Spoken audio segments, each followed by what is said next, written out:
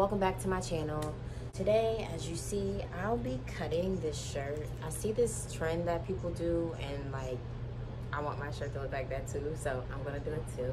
They cut it down the middle and then they tied it so my torso is really short so I'm gonna just see how this looks. And also my boobage is a little flat tat tat but I'm still gonna give it a whirl so stay tuned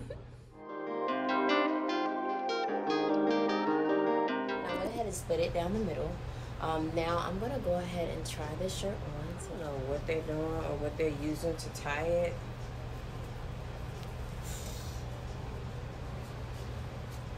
I don't know about that. I don't think that's the way it works.